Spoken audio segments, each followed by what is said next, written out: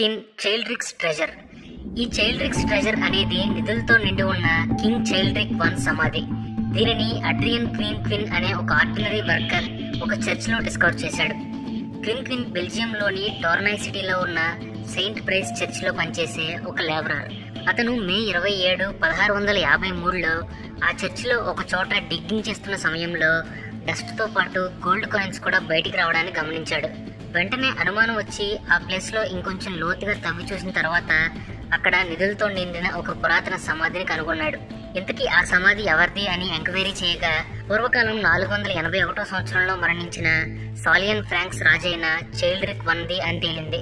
ఈ ట్రెజర్లో hundred gold coins బంగారపు కత్తులు గోల్డ్తో చేసిన ఆర్నమెంట్స్ మూడు వందల గోల్డెన్ బీస్ ఇలా బంగారంతో చేసిన వస్తువులు ఎన్నో ఉన్నాయి.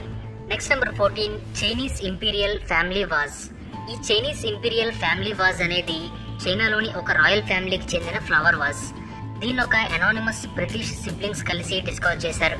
ఈ ఇద్దరు సిబ్లింగ్స్ వారి పేరెంట్స్ చనిపోవడంతో ఆ ఇంటిని సేల్ చేయాలి అనుకున్నారు. హౌస్ క్లియరింగ్ టైంలో ఆ హౌస్లో పదహారు అంగుళాల పొడవైన చైనీస్ వాజ్ ఒకటి ఉండడాన్ని గమనించారు. దాని మీద ఉండే ఫిష్ ఇమేజెస్ అలాగే చైనీస్ సిరామిక్ డిజైన్ చూసి ఇదేదో ఇంపీరియల్ ఫ్యామిలీకి చెంది ఉంటుందని అనుకుని వెంటనే దాన్ని లండన్ దగ్గర ఉన్న బ్రెయిన్ బిడ్జ్ ఆక్షన్ హాల్కి తీసుకెళ్ళారు. అక్కడ ఉన్న ఒక కన్సల్టెంట్ ఈ వాజ్ పద్దెనిమిదవ శతాబ్దపు చక్రవర్తి అయిన కియాన్ లాంగ్ పాలనలో ఉండేదని కన్సిడర్ చేశాడు. అంతేకాకుండా ఈ వాజ్ ఇంపీరియల్ ఫ్యామిలీకి చెందిందని సూచించే ఒక సింబల్ని కూడా గుర్తించాడు. అయితే ముప్పై నిమిషాల బిడ్డింగ్ వార్ జరిగిన తర్వాత ఈ వాజ్ ఎనభై ఐదు మిలియన్ డాలర్లకి సేల్ అయింది. అంతేకాకుండా దీనిపైన ఉన్న చైనీస్ ఆర్ట్ వర్క్ వరల్డ్ రికార్డ్ని కూడా క్రియేట్ చేసింది. Next number thirteen the Lyceum. ఈ లైసియం అనేది ఒక ఫిలసాఫికల్ స్కూల్. కాలం గడిచే కొద్దీ ఇది కనిపించకుండా పోయింది. కానీ కొన్ని వందల సంవత్సరాల తర్వాత అక్కడ ఒక మ్యూజియంని కన్స్ట్రక్ట్ చేస్తున్న టైంలో అక్కడ పనిచేస్తున్న నార్మల్ వర్కర్స్ దాన్ని డిస్కవర్ చేశారు. క్రీస్తు పూర్వం మూడు వందల ముప్పై ఐదులో గ్రీక్ ఫిలాసఫర్ అయిన అరిస్టాటిల్ ది లైసియం పేరుతో సొంతంగా ఒక ఫిలసాఫికల్ స్కూల్ని ఎస్టాబ్లిష్ చేశాడు. కాలం గడిచే కొద్దీ ఆ స్కూల్ శిథిలం అయిపోయింది.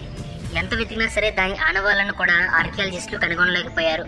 ఈ స్కూల్ కోసం వంద సంవత్సరాలకు పైగా రీసెర్చ్ చేసినా సరే ఫలితం లేకపోయింది. కానీ నైన్టీన్ నైన్టీ సెవెన్లో ఇక్కడ ఒక ఆర్ట్ మ్యూజియంని బిల్డ్ చేయాలి అనే ఉద్దేశంతో అక్కడ వర్కర్స్ టెక్కింగ్ చేస్తుండగా ఈ స్కూల్కి సంబంధించిన కొన్ని ఎవిడెన్స్ బయటపడ్డాయి. వాటిని రీసెర్చ్ చేసిన తర్వాత అవన్నీ లైజియంకి చెందినవే అని ఆర్కియాలజిస్టులు కన్ఫర్మ్ చేశారు. వెంటనే ఈ ప్లేస్ని లైజియం యొక్క అవుట్డోర్ మ్యూజియంగా మార్చేశారు. ఈ ప్లేస్లో కన్స్ట్రక్ట్ చేయదలుచుకున్న మోడర్న్ ఆర్ట్ మ్యూజియం కోసం మరొక ఆల్టర్నేట్ ప్లేస్ని వెతుకోవాల్సి వచ్చింది. Next number twelve two thousand year old bog butter ఈ బాగ్ బటర్ అనేది ఒక లగ్జరీ ఫుడ్ మాత్రమే కాకుండా ఓల్డ్ బటర్ మేకింగ్ మెథడ్ కూడా. రెండు వేల సంవత్సరాల క్రితం భూమి లోపల బరీ చేయబడిన ఈ బాగ్ బటర్ని ఒక టర్ఫ్ కట్టర్ బయటికి తీసింది. ఈ బాగ్ బటర్ ముఖ్యంగా ఐర్లాండ్ మరియు గ్రేట్ బ్రిటన్స్లో పీట్ బోక్స్లో బరీ చేయబడిన ఏన్షియంట్ వ్యాక్స్ సబ్స్టెన్స్ ఇది ఒక old butter making and protecting method కూడా. కొన్ని వేల సంవత్సరాలుగా వీటిని భూమి లోపల బరీ చేసి ఉంచుతారు. దీనికి కారణం ఐర్లాండ్లో ప్రతి సంవత్సరం ప్రజలు తమ ఇళ్ళని హీట్గా ఉంచుకోవడం కోసం పీట్ మోస్ని డిగ్గింగ్ చేస్తూ ఉంటారు. ఈ పీట్ మోస్ అంటే ఒక రకమైన కంపోస్ట్. పూర్వకాలం ఈ బాగ్ బటర్ ఐర్లాండ్లో ఒక లగ్జరీ ఫుడ్. దీనిని దేవతలకి నైవేద్యంగా కూడా ఉపయోగించేవారు. ఇందులో లో ఆక్సిజన్ మరియు హై ఎసిడిక్ ఎన్వైరన్మెంట్ ఉన్న కారణంగా కొన్ని వేల సంవత్సరాల వరకు ఇది ప్రొటెక్ట్ చేయబడుతుంది.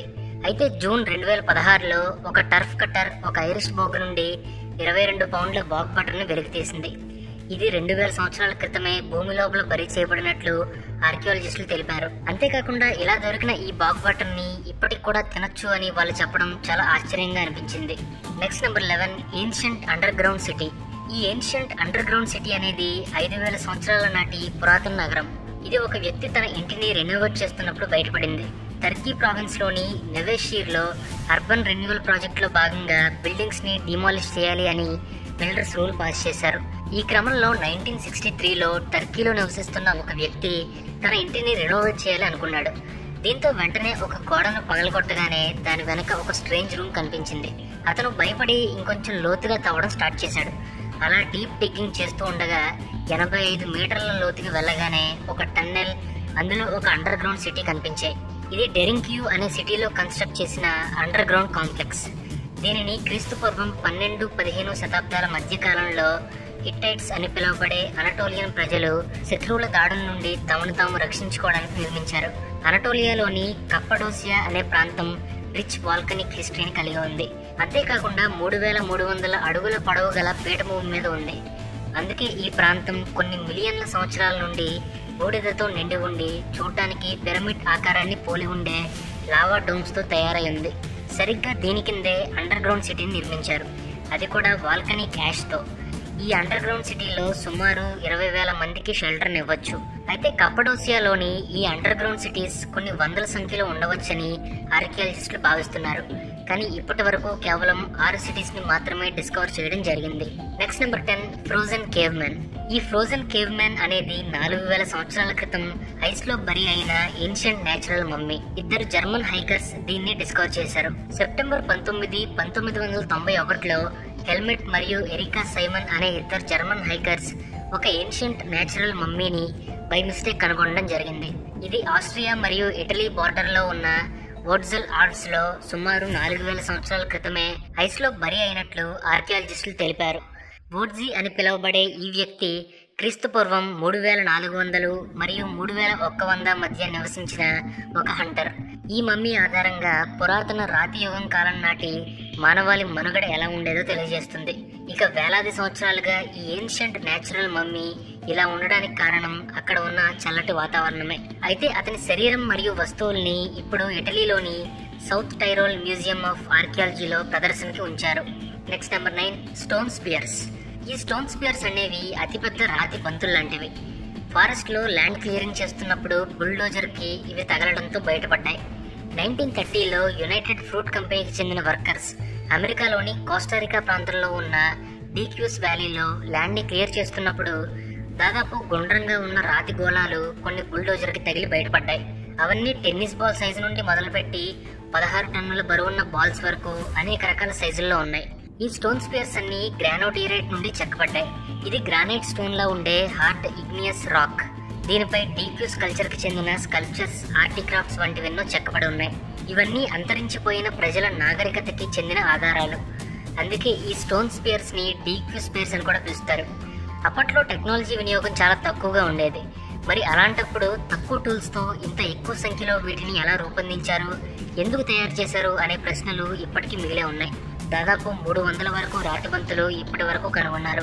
క్రీస్తు శకం ఆరు వందల నుండి వెయ్యి సంవత్సరాల మధ్య వీటిని తయారు చేసి ఉంటారని ఆర్కియాలజిస్టులు భావిస్తున్నారు. అయితే ఖచ్చితంగా ఎప్పుడు తయారు చేశారో మాత్రం చెప్పలేమంటున్నారు. Next number eight golden Buddha statue. Golden Buddha statue అనేది ప్యూర్ గోల్డ్తో తయారు చేయబడిన లార్డ్ బుద్ధ స్టాచ్యూ. దీనిని ఒక నార్మల్ వర్కర్ డిస్కవర్ చేశాడు. థాయిలాండ్లోని ఒక మఠం ఏడు వందల సంవత్సరాల పాటు ప్లాస్టర్తో చేసిన ఒక బుద్ధ స్టాచ్యూ నుంచింది. అయితే నైన్టీన్ థర్టీ ఫైవ్లో ఆ మఠంలోని బుద్ధిస్ట్ మాంగ్స్ ఆ స్టాచ్యూని అంతగా ప్రత్యేకత లేని ఒక ఓల్డ్ బిల్డింగ్కి షిఫ్ట్ చేయాలి అనుకున్నారు. అయితే ఈ స్టాచ్యూని మూవ్ చేస్తున్న టైంలో ఒక వర్కర్ పొరపాటున దానిని కింద పడేస్తాడు. సరిగ్గా అదే టైంలో ప్లాస్టర్ కట్ అయ్యి ఆ స్టాచ్యూ మెరుస్తూ కనపడుతుంది. దానిని డీప్గా పరిశీలించి చూసినప్పుడు అది హండ్రెడ్ పర్సెంట్ ప్యూర్ గోల్డ్ అని తేలింది. టోటల్గా ఫైవ్ మెట్రిక్ టన్నుల ప్యూర్ గోల్డ్తో తయారు చేయబడిన ఈ స్టాచ్యూ ప్రపంచంలోని లార్జెస్ట్ గోల్డెన్ బుద్ధ స్టాచ్యూగా నిలిచింది. అందుకే దానిని ఇప్పుడు ప్రదర్శన కోసం సొంత బిల్డింగ్లోనే ఉంచడం జరిగింది. Next number seven ancient Roman villa ఈ ఏన్షియంట్ రోమన్ విల్లా అనేది రోమ్ నగరం చుట్టూ నిర్మించిన ఒక పురాతనమైన రిసార్ట్. దీనిని ఇటాలియన్ వ్యక్తి గూగుల్ ఎర్త్లో డిస్కవర్ చేశాడు. లూకా మోరీ అనే ఇటాలియన్ కంప్యూటర్ ప్రోగ్రామర్ గూగుల్ ఎర్త్లో తన సిటీ గురించి స్టడీ చేస్తున్నప్పుడు సిటీ చుట్టూ ఐదు వందల మీటర్ల పొడవులో ఓవెల్ షేప్లో ఉన్న ఒక షాడోని కనుక్కున్నాడు. ఈ విషయాన్ని తన బ్లాగ్లో కూడా అప్లోడ్ చేశాడు. తర్వాత కొంతమంది లోకల్ ఆర్కియాలజిస్టులను పిలిచి ఆ విషయం గురించి చెప్పగా వాళ్ళు ఆ ఏరియాలో తవ్వడం ప్రారంభించారు. ఆ తర్వాత వాళ్ళకి అర్థమైంది ఏంటంటే ఈ రోమన్ విల్లా అనేది భూమి లోపల బరి అయిన ఒక ఏన్షియంట్ రిసార్ట్ అని. నిజానికి రోమన్ విల్లా అంటే రోమన్ రిపబ్లిక్ మరియు రోమన్ ఎంపైర్లో దళితీ పీపుల్ కోసం నిర్మించే ఒక రిసార్ట్ అని అర్థం. Next number six Chinese mummy. ఈ చైనీస్ మమ్మీ అనేది ఒక ఏన్షియంట్ మమ్మీఫైడ్ బాడీ. దీన్ని రోడ్ వర్కర్స్ రోడ్ వైడనింగ్ చేస్తున్న టైంలో డిస్కవర్ చేశారు.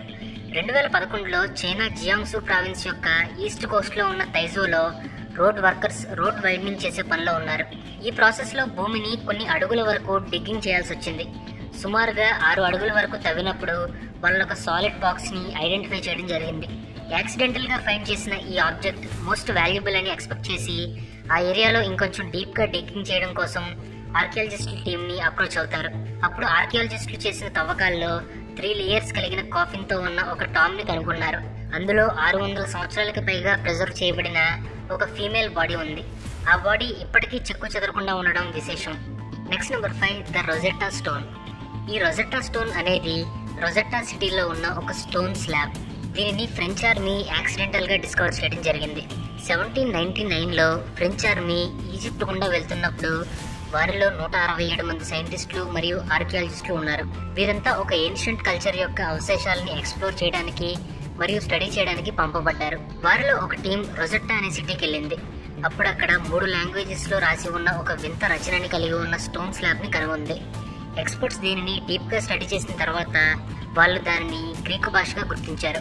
కానీ ఆ రైటింగ్ని ట్రాన్స్లేట్ చేయడానికి ఈజిప్షియన్ హైరోగ్లిఫిక్స్ని అర్థం చేసుకోవడానికి మరియు సీక్రెట్స్ని అన్లాక్ చేయడానికి వాళ్ళు కొన్ని సంవత్సరాల పాటు పనిచేయాల్సి వచ్చింది. Next number four the Dead Sea Scrolls. ఈ డెడ్ సీ స్క్రోల్స్ అనేవి పురాతన యూదుల మత గ్రంథమైన పాత నిబంధనలోని ఒరిజినల్ మాన్యుస్క్రిప్ట్స్. దీనిని ముగ్గురు షెపర్స్ డిస్కవర్ చేశారు. నైన్టీన్ ఫార్టీ సెవెన్లో ముగ్గురు షెపర్డ్స్ మిస్ అయిన తమ మేకను వెతుకుతున్నప్పుడు అది ఒక గుహలో పడిపోయింది ఆ మేక కోసం వాళ్ళు అక్కడికి వెళ్ళినప్పుడు అన్ఎక్స్పెక్టెడ్గా అక్కడ కొన్ని పాత స్క్రోల్స్ నిండిన కొన్ని జార్లను కనుగొన్నారు. ఈ డెడ్ సీ స్క్రోల్స్ పాత నిబంధన యొక్క మ్యాన్యూస్క్రిప్ట్స్ని చరిత్రలో ఉన్న బిగ్గెస్ట్ డిస్కవరీస్లో ఒకటిగా నిరూపించబడ్డాయి. కానీ అప్పటికి వారికి ఆ సంగతి తెలియదు అందుకే ఈ షెపర్డ్స్ ఆ జార్లను పట్టుకుని సిటీలోకి తీసుకొచ్చి ఒక ట్రేడర్కి అరవై డాలర్లకి సేల్ చేశారు.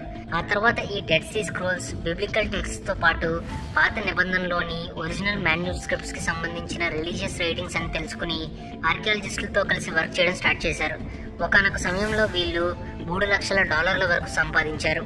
Next number three graves of medieval Slavic chieftains.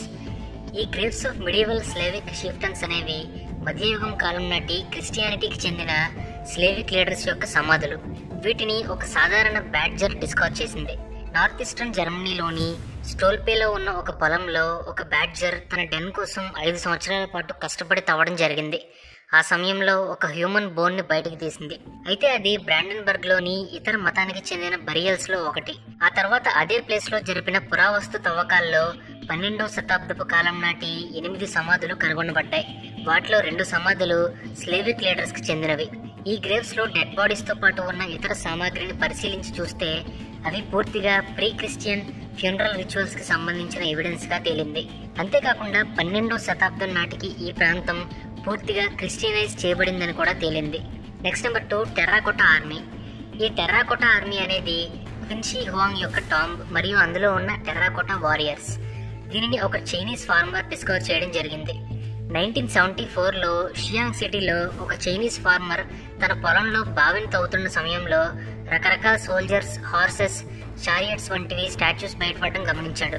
ఈ విషయం ఆర్కియాలజిస్టులకు తెలియడంతో వాళ్ళు అక్కడ తవ్వకాలు జరిపి ఇవి క్రీస్తు పూర్వం రెండు వందల పదకొండు రెండు వందల ఆరు మధ్య రూలింగ్ చేసిన కిన్ రాజవంశీకుల యాక్సెసరీస్గా తెలిపారు. అలాగే ఇది క్విన్సీ హాంగ్ సమాధిగా నిర్ధారించడం జరిగింది. నిజానికి టెర్రాకోటా ఆర్మీ అనేది విచిత్రమైన ఆర్ట్తో చేయబడిన వేల సంఖ్యలో ఉన్న క్లే స్టాచ్యూస్. ఇవి వరల్డ్ వైడ్గా ఫేమస్ అవడంతో అప్పటి నుండి షియాంగ్ పట్టణం టెర్రాకోటా సైనికులు గుర్రాలు రథాలు మొదలైన సంపదకి అడ్రస్గా మారిపోయింది. అంతేకాకుండా చైనా గవర్నమెంట్ ఈ ప్లేస్లో మ్యూజియంని కూడా నిర్మించింది. ఈ మ్యూజియం ని వరల్డ్ ఫేమస్ వండర్స్లో ఎయిత్ వండర్గా చేర్చడం కూడా జరిగింది. అయితే ఈ టెర్రాకోటా ఆర్మీ అనేది ఇప్పుడు చైనా మొత్తంలో ఆర్కియలాజికల్ ట్రెజర్గా పరిగణించబడుతుంది. ఫైనల్గా number one king Tutankhamun tomb. ఈ కింగ్ టోటంకుమన్ టాంబ్ అనేది ఏన్షియంట్ ఈజిప్ట్కి చెందిన యంగ్ ఫారో అయిన టోటంకుమన్ యొక్క సమాధి.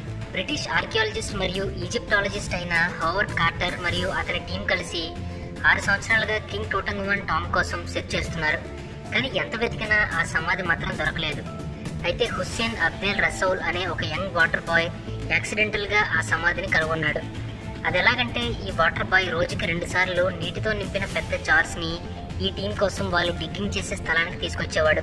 ఒకరోజు ఈ వాటర్ బాయ్ ఇసుకలో కర్రతో ఆడుకుంటూ ఉండగా ఒక ఫ్లాట్ స్టోన్ తన కాలికి తగలడంతో అదేంటో అర్థం కాక ఈ విషయాన్ని కార్టర్ టీంకి చెప్తాడు. వాళ్ళు వెంటనే ఆ ప్లేస్కి వెళ్ళి డిగ్గింగ్ చేయడం స్టార్ట్ చేస్తారు. దాదాపు ఇరవై రెండు రోజుల తర్వాత వాళ్ళు కింగ్ టోటంకమన్ టాంబ్ యొక్క ఎంట్రన్స్ని ఫైండ్ అవుట్ చేస్తారు. సుమారు మూడు వేల సంవత్సరాల ముందు క్లోజ్ చేయబడిన ఈ యంగ్ ఫారో యొక్క బరియల్ రూమ్ని ఓపెన్ చేసి చూడగా అన్ఇమాజినబుల్ ట్రెజర్స్ మరియు ఎక్స్ట్రాడినరీ ఆర్టిక్రాఫ్ట్స్ వంటివి అందులో ఉండడం గమనించారు. సో ఫ్రెండ్స్ ఈ లిస్ట్లో మీకు ఇంట్రెస్టింగ్గా అనిపించిన ట్రెజర్ ఏంటో కింద కామెంట్స్లో మాతో షేర్ చేసుకోండి.